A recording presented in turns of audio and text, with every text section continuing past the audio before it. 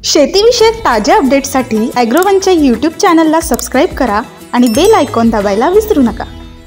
नमस्कार मी धनंजय सानप ॲग्रोवनच्या हवामान अपडेटमध्ये तुमचं स्वागत. राज्यात उन्हाच्या झळा वाढलेल्या असतानाच पावसाला पोषक हवामान होतं आहे आज म्हणजे चार एप्रिल रोजी पूर्व विदर्भात तुरळक ठिकाणी विजांसह पावसाचा इशारा देण्यात आला आहे तर उर्वरित राज्यात मुख्यतः कोरड्या हवामानासह उन्हाचा चटका कायम राहण्याची शक्यता हवामान विभागानं वर्तवली आहे. राज्याच्या कमाल आणि किमान तापमानात चढउतार सुरूच आहेत.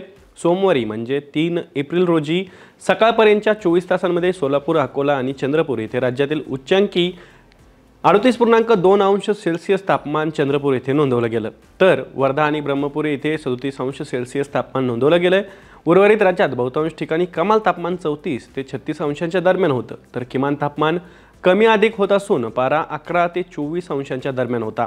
विदर्भ मराठवाडा कर्नाटक दक्षिण तामिळनाडूपर्यंत समुद्रसपाटीपासून नऊशे मीटर उंचीवर हवेचा कमी दाबाचा पट्टा आणि खंडित वाऱ्यांची स्थिती आहे. पश्चिम राजस्थान आणि परिसरावर समुद्रसपाटीपासून एक पूर्णांक पाच किलोमीटर उंचीवर चक्राकार वारीची स्थिती आहे. यामुळे राज्यात पावसाला पोषक हवामान होत असून विदर्भात विजांसह पावसाची शक्यता आहे तर उर्वरित राज्यात उन्हाचा झटका कायम राहण्याचा अंदाज हवामान विभागानं वर्तवला आहे. या माहितीसोबत तुर्तास इथेच थांबू. हवामानाच्या अशाच ताज्या अपडेटसाठी ॲग्रोवनच्या यूट्यूब चॅनलला सबस्क्राईब आणि फेसबुक पेजला लाईक आणि फॉलो करायला विसरू नका.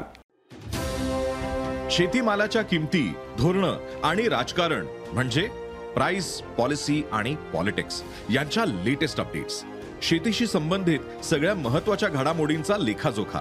फक्त बातम्या घटना नव्हे तर सखोल विश्लेषण. मार्केट इंटेलिजन्स संशोधन, तंत्रज्ञान, हवामान, नवे प्रयोग, शेती सल्ला एका क्लिकवर उपलब्ध. अॅग्रोवन डॉट कॉम ला अवश्य भेट द्या.